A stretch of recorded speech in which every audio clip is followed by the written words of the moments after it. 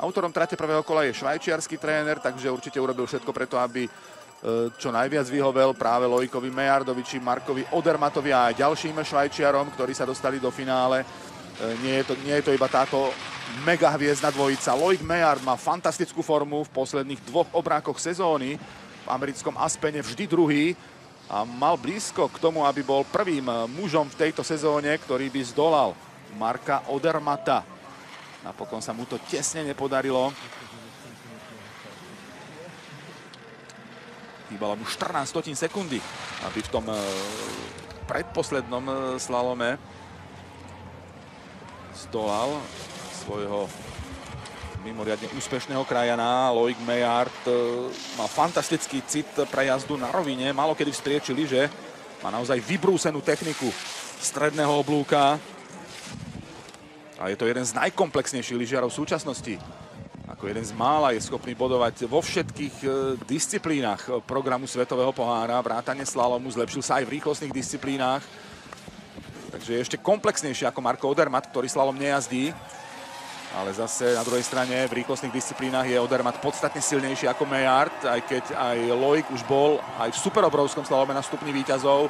Má za sebou trať prvého kola, ktoré staval jeho tréner Helmut Kruk eh, stanovil základný čas 1 minúta 17,89 sekundy.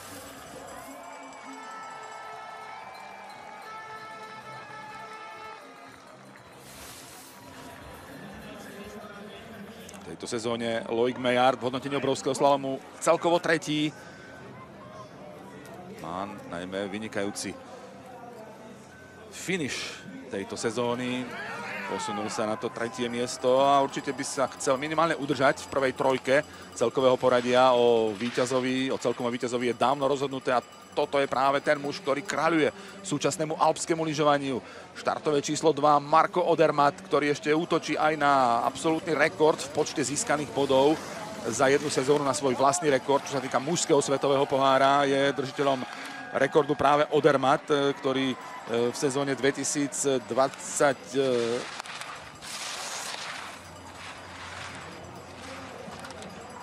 1.22 získal ten eh, doteraz najvyšší počet eh, bodov v rámci jednej sezóny. Konkrétne 2042 bodov. Absolutný rekord je ale eh, zo ženskej časti Svetového pohára. Ten Marko Odermatt v tejto sezóne už prekonať nemôže. Tina Mázeová v sezóne 2012-2013 získala 2414 bodov Loik Mejard nasadil latku veľmi vysoko, až záverečné bránky už hovoria v prospech Odermata, inak na všetkých predchádzajúcich medzičasoch bol rýchlejší Mejard, ale v cieli napokon bude mať eh, Odermat opäť lepší čas o 40 stotín sekundy. Marko Odermat vyhral 12 obrovských slalomov za sebou, čo je absolútny e, rekord e, za posledné roky a iba jeden muž v celej histórii Svetového pohára dokázal vyhrať eh, viackrát eh, a bolo to takisto v obrovskom slalome a je to Ingemar Stenmark, kto iný, ktorý medzi rokmi 1978 až 1980 vyhral 14 obrovských slalomov eh, za sebou. Marko Odermatt dnes môže získať 13. triumf v neprerušenej sérii. V tejto sezóne teda už Stenmarkov rekord prekonať nemôže, ale v tej ďalšej sa to stať pokojne môže. Toto je so štartovým číslom 3 Filip Zubčič, 31-ročný Chorvát. Zatiaľ druhý hodnotenie obrovského slovom. Zaujímavý bude vlastne súboj o e, miesta za Odermatom, pretože tam je to veľmi tesné. Druhý Zubčič e, má náskok pred tretím e, Mejardom iba dvojbodový. A dnes zatiaľ s Mejardom v prvom kole prehráva tých úvodných bránkach e, celkom výrazne. Zubčič nemá takú vynikajúcu formu v tých posledných pretekoch sezóny e, až tak nežiaril. Aspene 15. a 16. miesto v Pelisejste ho nebodoval. V Bansku iba 9. miesto, takže nie je to úplne ideálny e, záver sezóny v jeho podaní. Ale štart do sezóny mal fantastický štvrtý vo Valdizer, druhý v Altabádi. tretí v Adelbodene. Najmä vďaka tomu je stále na druhom mieste celkového poradia disciplíny, ale dnes e, to bude mať veľmi ťažké s obhajobou svojej pozície, pretože teraz stratil výrazne na švajčiarske duo, nie len na vedúceho Odarmata, ale aj na druhého Lojka Mejarda. Je to naozaj obrovský odstup. Na Mejarda stratil viac ako sekundu, konkrétne sekundu a 21 stotín, na Odermata sekundu a 61 stotín. Štartové číslo 4 má Žan Kraniec. Ten má na Zalbách veľmi dobré spomienky. Keď sa tu naposledy išiel obrovský slalom Svetového pohára, bolo to v decembri 2018, tak práve Kraniec tu bol víťazom. Tedy so štartovým číslom 6, dnes so štvorkou, dlhodobo si drží výkonnosť, e, patrí e, k najlepším protagonistom tejto disciplíny, naozaj e, z hľadiska dlhodobej formy, úžasná naozaj úžasná dlhovekosť, s akou si stále drží pozíciu v elitnej sedmičke. To fyzicky vynikajúco disponovaný pretekár, to bolo v jeho prípade najmä o skvelej kondičnej pripravenosti. Takisto ako Mayard, aj on skvele dokáže pracovať na tých rovinatejších úsekoch.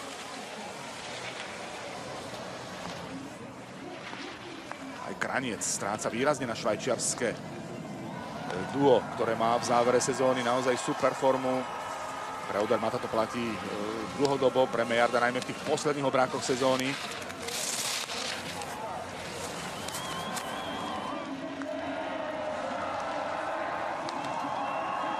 Kraniec e, bude strácať veľmi veľa, konkrétne 2 sekundy a 47 stotín pre ňo nie je dobrá východisková pozícia pred druhým kolom. Otázkou je samozrejme aj faktor spomalujúcej sa trate, ako bude držať e, zjazdovka v Zálbachu, keďže je veľmi teplo. Teplota na štarte plus 3 stupne Celzia v cieli, plus 4 stupne. Určite ďaleko k ideálnym podmienkám. Štartové číslo 5, to je Henrik Kristoffersen. Norský e, pretekár má v obrovskom slalome už 32 pódiových umiestnení za celú kariéru a 7 víťazstiev v tejto sezóne, ale iba raz sa dostal na stupeň víťazov, konkrétne v Palisades Tehov, keď skončil druhý. Ale bodoval vo všetkých obrákoch tejto sezóny. Teda veľmi vyrovnaný z hľadiska výkonnosti. Patrí mu štvrté miesto v hodnotení obrovského slalomu so ziskom 350 bodov, ktoré nazbieral v 9 obrákoch sezóny. Je to lepšie v porovnaní s Kraniecom či Zubčičom, ale aj on stráca pomerne veľa na, zdá sa, nedostihnutelných švajčiarov v rámci prvého kola. Mejard s Odermatom nasadili latku tak vysoko, že pre konkurenciu to bude viac ako ťažké, čo je len priblížiť sa k ich časom.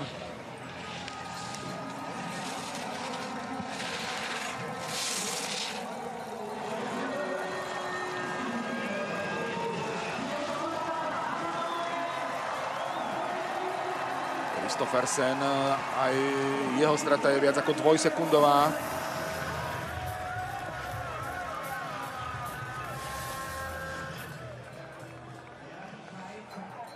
Švajčiarskej prevahe. Marko Odermatt a Loic Mejard potvrdzujú súčasnú úroveň švajčiarského alpského lyžovania. Švajčiarsko momentálne jasne vedie v pohári národov, tak čo sa týka mužskej časti, tak čo sa týka ženskej a aj samozrejme logicky v sumárnom e, bodovom vyjadrení, keď zrátame mužské aj ženské body, tak e, Švajčari sú vo všetkom na prvom mieste.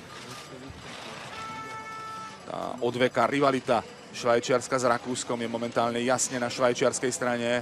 Boli sezóny, keď e, naopak to bola výrazná rakúska prevaha, najmä to platilo o prelome 90. E, rokov a nového milénia. Vtedy to bola veľká rakúska prevaha. Teraz sa situácia obrátila v prospech Švajčiarska, ktoré má dokonca troch pretekárov momentálne v elitnej sedmičke, pretože sa tam dostal aj tento muž, Thomas Tumler, až vo veku 35 rokov. sa dostal na vrchol svojej výkonnosti. Dozrieva ako víno, doslovne sa to takto dá charakterizovať, pretože je čím starší, tým lepší.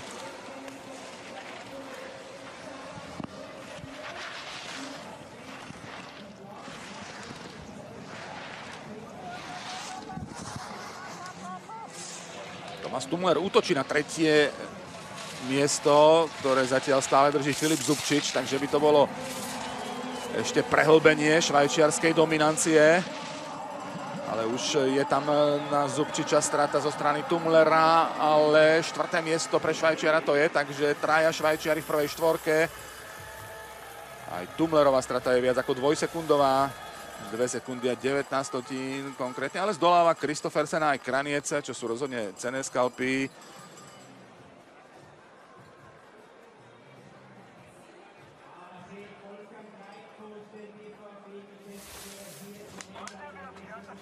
Elitnú sedmičku uzatvára Alexander Sten Olsen. Momentálne jediný Nor, ktorý je v tej najelitnejšej spoločnosti obrovského slalomu. Keďže e, pred začiatkom tejto sezóny oznámil e, šokujúco koniec kariéry Lukas Broten, ale v tejto chvíli to už neplatí, pretože Lukas Broten v tej nasledujúcej sezóne ohlásil návrat, ale už v novom týme bude reprezentovať Brazíliu, keďže je polovičným Brazílčanom po mame.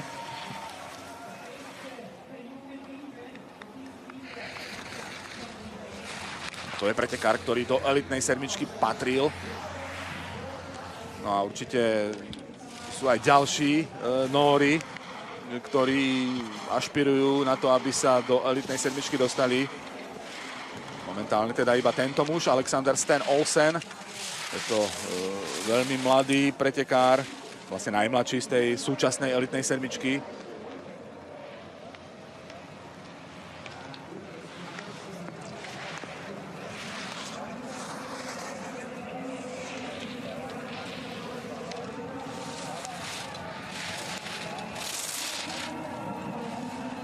Stále iba 22-ročný pretekár s veľkým potenciálom. A potvrdil to aj v dnešnom prvom kole. Skvelé tretie miesto so stratou sekundy a 39 stotín. Konečne tu máme pretekára, ktorý sa ako tak priblížil k tej vedúcej švajčiarskej dvojici. Vidíme lídra Odermata, pri ňom Thomas Tumler, ktorý pred chvíľou ukončil svoje pôsobenie v rámci prvého kola. No a to má za sebou aj Alexander Sten Olsen a je na výbornom treťom mieste so štartovým číslom 7 sa dokázal dostať tak pred Zubčiča, ako aj pred, Tumlera, pred Tumlera či Kristofersena a Kranieca. Ďalší Nor, ďalší mladý pretekár s potenciálom e, na tú elitnú sedmičku pre ďalšie sezóny. To je Atle Liam vynikajúci e, pretekár, ktorý nadvezuje na úspešnú kariéru svojho otca, ktorého už e, v takto mladom veku dokázal výsledkovo prekonať. Jeho otec e, to je Felix McGrath. Takže ako, bol, ako je Broten polovičným Brazílčanom, tak e, McGrath je polovičným Američanom po otcovi. Syn amerického otca, norskej mamy. Felix McGrath bol takisto skvelým slalomárom 80 rokoch. Dokázal sa dostať raz aj na stupeň výťazov v ére Ingemara Stenmarka, ktorý v tom čase kráľoval podobne ako teraz kráľuje Marko Odermatt.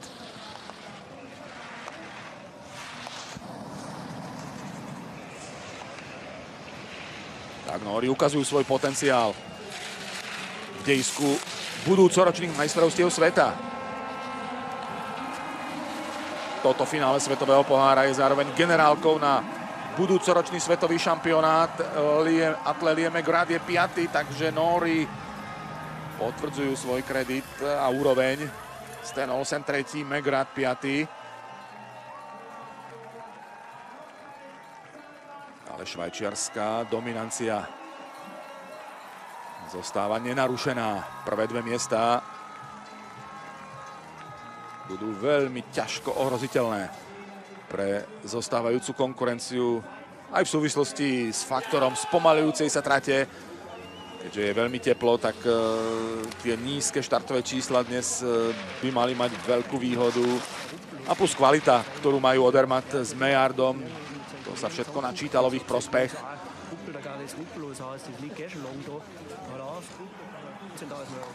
Luca De Ali Prandini na tretí. Skúsený 34-ročný Talian. Strieborný medalista z majstrovstiev sveta v Kortne Dampeco 2021 v tejto disciplíne, vtedy to bolo veľmi prekvapujúce. To je jeho druhé miesto.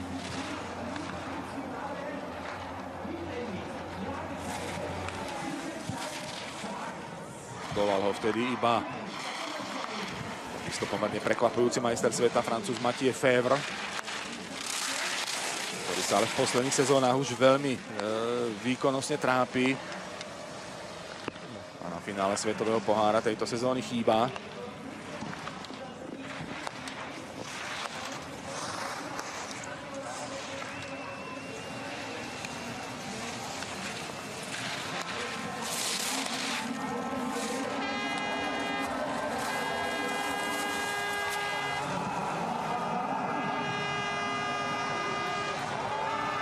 Alim Prandini, patrí mu 9. miesto, strata 2,64 stotín, zatiaľ je to najhorší čas, ktorý sme doteraz zaznamenali. Nebude to jednoduché pre e, ďalších pretekárov, je to jasné. Aj po jazde De Ali Prandiniho.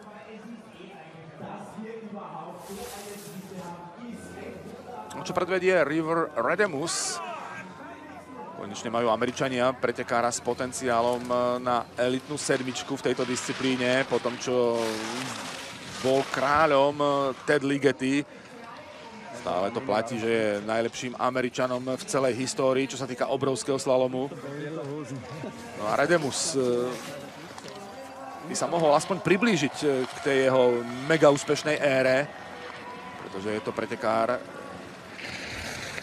ktorom sa v Amerike hovorí ako o možnom nástupcovi Ligetiho.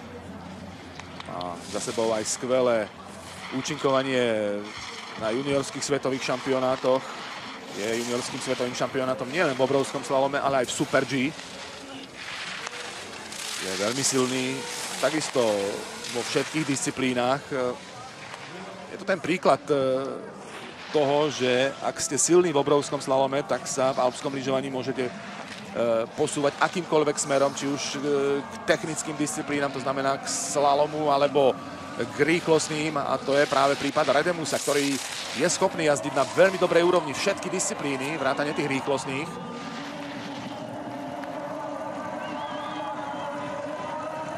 Podobný typ pretekára ako Loic Meillard, Redemus, ale takisto bude musieť útočiť e, z tých nižších pozícií po prvom kole. Strata blížiaca sa k trom sekundám. Opäť sa nám posúva hodnota toho najhoršieho času.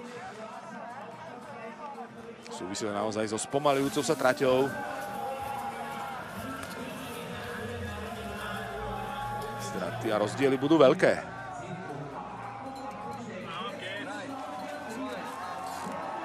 Štartové číslo 11, domáci borec Manuel Feller, ktorý už má istý malý globus e, za celkové víťazstvo v slalome. Nemôže byť prekonaný.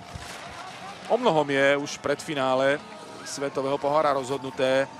Rozhodnuté je o majiteľovi veľkého globusu, to bude Marko Odermatt po tretíkrát za sebou. E, rozhodnutie je aj o víťazstve v tejto disciplíne, to je samozrejme takisto Marko Odermatt, e, slalomárským kráľom je tento muž, Manuel Feller a iba Super G a zjazd ešte nemajú istého víťaza. Aj tam je zatiaľ lídrom Odermatt, ale ešte teoreticky e, môže byť prekonaný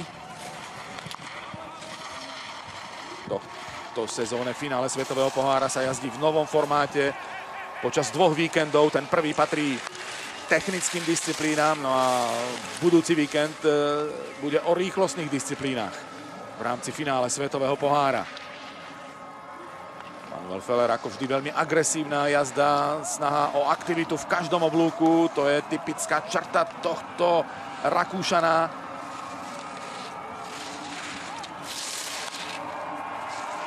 Ale jeho strata bude výrazne nad dvomi sekundami. Tak ako zrejme každého ďalšieho pretekára, ktorý ešte zostáva v hre. V prvom kole 10. miesto Fellera, predsa len jedného pretekára zdoláva. Je to konkrétne Riv Redemus, ktorý klesá momentálne na to posledné klasifikované miesto po desiatich jazdách, ktoré máme za sebou. Respektíve 11 jazdách, ktoré máme za sebou. Tým 11 bol práve Manuel Feller. A štartové číslo 12, Joan Verdu.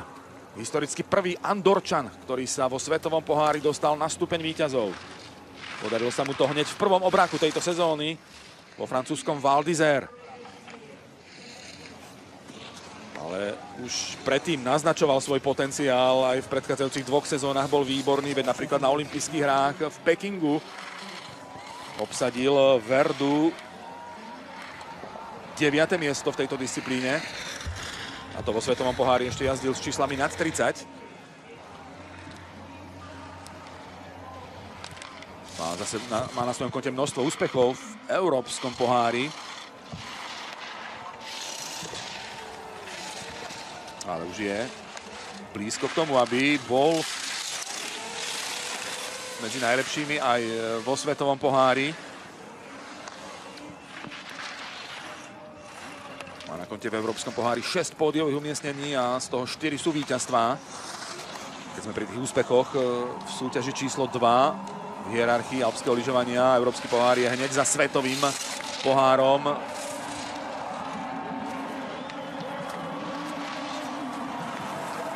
A Verdu zvládol prvé kolo na veľmi dobrej úrovni vzhľadom na číslo. 5. miesto je super výsledkom pre tohto Andorčana. A to len potvrdzuje tie moje slova o jeho kvalitách a možnostiach stále napredovať. Má 28 rokov. Myslím si, že stále ho tie najlepšie sezóny iba čakajú. Stačí sa pozrieť na Tomasa Tumlera, ktorý sa ako 35-ročný dokázal poprvýkrát v kariére dostať eh, medzi elitnú sedmičku. Takže eh, Verdu má z tohto pohľadu ešte dosť času pri takomto porovnávaní. Tu je so štartovým číslom 13 Alexander Schmidt. Nemecký majster sveta z paralelných pretekov. Získal titul svetového šampióna. Kurševeli v minulom roku práve v paralelnom obrovskom slalome konkrétne.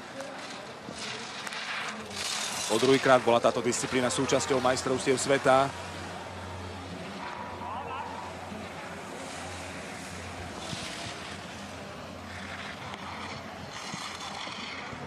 Šmidovi patrí v obrovskom slalome zatiaľ pred finále 13. miesto so ziskom 168 bodov.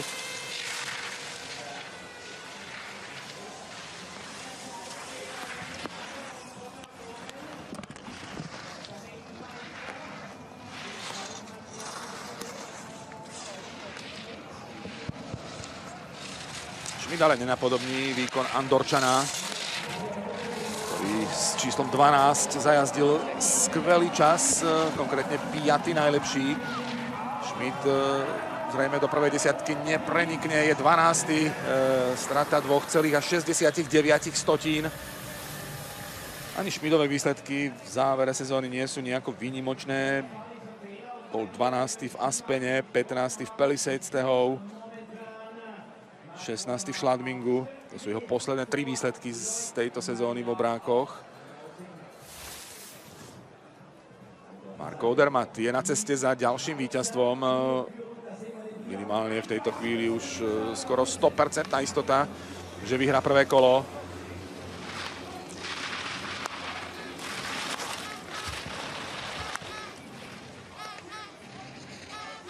Ak sa to Odermatovi podarí, bude to jeho 13.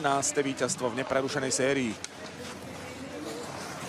disciplíne s najväčšou konkurenciou, pretože práve obrovský slalom je takouto disciplínou, keďže sa tu dokážu presadzovať nielen e, špecialisti na túto disciplínu, ale aj slalomári či mnohí pretekári, ktorí sú silní v rýchlostných disciplínach. Z tohto pohľadu je to z hľadiska konkurencie určite najnabitejšia disciplína. A to, že má Odermatt práve v takejto disciplíne takúto sériu a je takým hegemónom, o to je to úžasnejšie. Jeho krajan Gino Kaviecel. Taký úspešný v prvom kole nebude ako Andorčan Verdu, ktorý ako jediný s tým vyšším číslom dokázal predviesť e, výkon z kategórie výnimočných.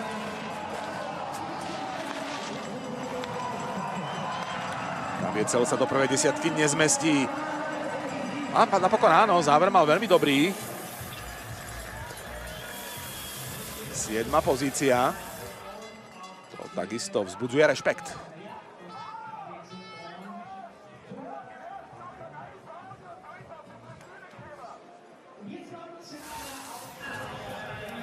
Kaviecelovi zatiaľ patrí 14. miesto v hodnotení obrovského slalomu pred finále.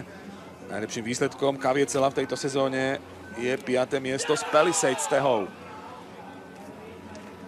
Teda z tej zámorskej časti. Tri obráky e, sa uskutočnili za oceánom. Konkrétne v Spojených štátoch amerických. Jeden v Palisades Tehov, dvakrát sa jazdilo v Aspene. Alex Vinacer, veľmi zaujímavý muž tejto sezóny, čo sa týka obrovského slalomu.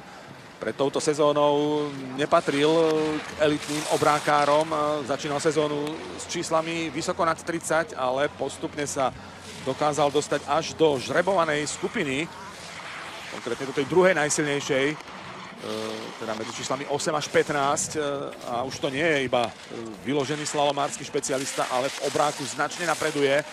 Jeho progres v tejto sezóne, čo sa obrovského slalomu týka, je naozaj úžasný.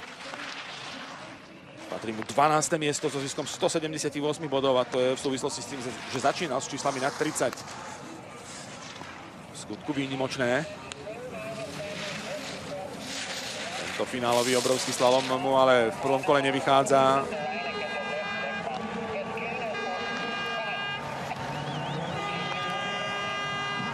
Poprvýkrát sa predstavuje v obrovskom slalome vo finále, ale strata 4 sekúnd a 42 stotín mu nedáva šancu na dobrý výsledok.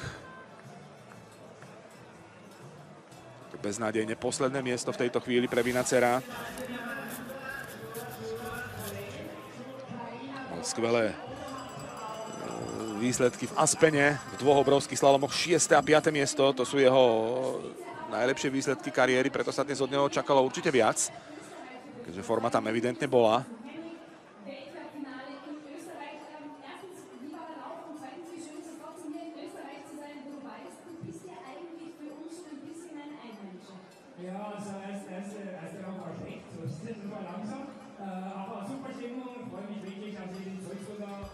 Čaká nás ešte 8 jazd. Prvé kolo bude uzavretou kapitolou. Najlepšia trojca aj s norským zastúpením. Tretí Alexander Sten Olsen, toto je zatiaľ druhý muž po prvom kole. Loic Mejard na prvých troch priečkách sa, dúfam si povedať, s určitosťou nič meniť nebude.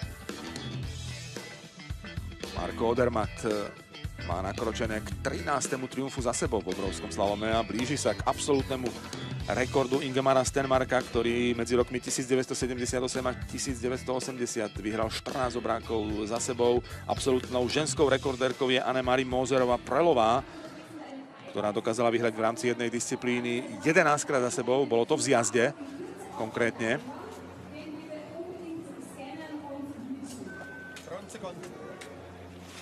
Mužský rekord je výnimočnejší vďaka Ingemarovi Stenmarkovi. A tých 14 obrákov za sebou sa zdalo dlho ako väčší rekord, ako neprekonateľný rekord, ale je tu Marko Odermatt, ktorý má šancu tento rekord prekonať. V tejto sezóne sa to už nestane, keďže je to posledný obrák, ale v tej ďalšej takáto možnosť rozhodne reálna je. Thibaut Favrot, štartové číslo 16, je pripravený v štartovacej búdke.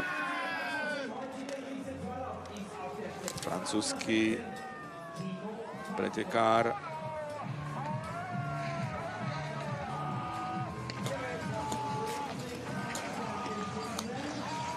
Potom ako sa zranil Alexi Pantiro, tak vlastne tento muž e, sa dostal na pozíciu francúzskej jednotky v obráku v tejto sezóne. No je to jediný francúz vo finále čo je veľký ústup z pozícií. Francúzi mali túto disciplínu v posledných rokoch veľmi silnú a často sa v tých posledných ročníkoch Svetového pohára stávalo, že vo finálovom obráku boli traja či štyria Francúzi. Teraz je tu jediný Dibo Favrot. 17. miesto mu patrí pred finále v hodnotení obrovského slalomu so ziskom 136 bodov. Ani raz sa mu nepodaril dostať v tejto sezóne do prvej desiatky, ale bodoval 8 krát z 9 možností. Najlepší výsledok Favrota, 11. miesto z Altabádie.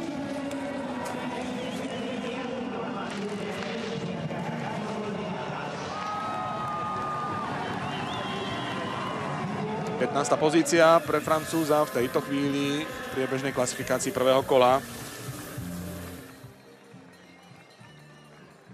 Zdoláva iba Alexa Vinacera, ktorý zostáva zatiaľ posledný medzi klasifikovanými pretekármi, medzi tými, ktorí to majú za sebou. Všetci zatiaľ dokončili prvé kolo. Je to rytmicky postavené Helmutom Krugom. Celkovo 60 eh, brán obsahuje trať prvého kola. 4 sú prejazdové. To znamená 56 oblúkov. Musia pretekári absolvovať celkovo na trati prvého kola. sa obrovského slalomu týka, tak e, vzdialenosť medzi bránami sa pohybuje medzi 25 a 27 metrami. Maximum je 28 metrov. To sú pravidlá týkajúce sa obrovského slalomu pri stavbe trate. Domáci Štefan Brensteiner. Keď sa tu naposledy bojovalo o body vo Svetovom pohári v roku 2018, tak sa Brensteinerovi nedarilo. Skončil až 34. To znamená, do druhého kola nepostúpil. Teraz e, sa o to nemusí báť, keďže tu všetci, ktorí prídu do cieľa, štartovať. 11. miesto pre Brensteinera, strata 2,50 na víťaza prvého kola Odermata, slušný výsledok. Veľmi solidné vystúpenie Brensteinera sme sledovali. Jedna z tých lepších jazd. Steiner napriek tomu nie je spokojný, ale myslím si, že dosiahol maximum možného, čo v tejto chvíli dovoluje trať. Odštartoval Timon Haugan. Podobný príklad, príklad ako Alex Vinacer, aj on bol vyloženým slalomárským špecialistom pred touto sezónou, ale aj jeho progres v obrovskom slalome je mimoriadne pozoruhodný. Aj on mal na začiatku sezóny čísla vysoko nad 30. A už sa blíži k tej druhej žrebovanej skupine v rebríčku obrovského slalomu potrebuje byť v prvej 15, aby si mohol žrebovať čísla. A nemá k tomu ďaleko po výborných výsledkoch v tejto sezóne a všetko korunoval v Aspene. V poslednom obráku pred finále sa dostal dokonca na stupeň víťazov. Bol tretí. Tento nedávnej minulosti ešte vyložený špecialista na slalom. Ale finálový obrák e, Hauganovi až tak nesadol. V Salbachu medzi najlepším po prvom kole rozhodne figurovať nebude. A bude mať aj ďaleko do prvej desiatky. Hauganová strata je viac ako trojsekundová. Zdoláva iba Alexa Vinacera. 17. miesto pre Haugana v tejto chvíli.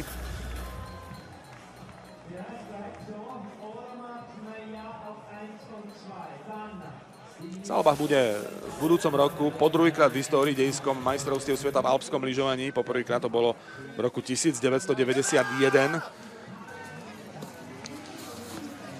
toto je vlastne taká hlavná generálka pred svetovým šampionátom.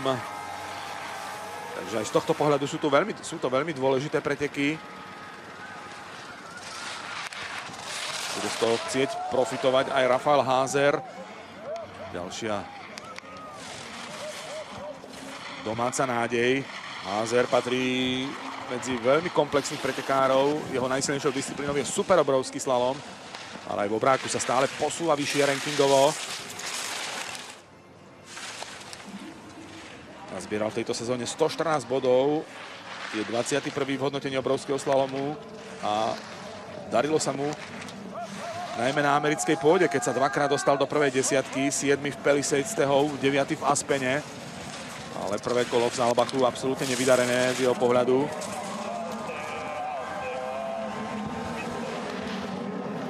Je to strata viac ako 4 sekundová. Videli sme tiaľ úplne najhoršiu jazdu. Posledné miesto v tejto chvíli pre Házera. Strata 4 celých a 64 stotín sekundy na víťaza prvého kola Marka Odermata. Toto je hlavný dôvod, prečo sa tak stalo. Totálna strata línie, rytmusu, tempa. Sam Mas. Aj Belgicko má zastúpenie vo finále Svetového pohára, čo je naozaj mílnik pre túto krajinu. Sam Mas, ale už dlho naznačuje svoj potenciál a naozaj sa zlepšuje veľmi výrazne v technických disciplínach. By to mohol byť e, pretekár tej absolútnej svetovej špičky pre ďalšie sezóny. Je vynikajúci aj v slalome. Stále veľmi mladý. 26-ročný Belgičan.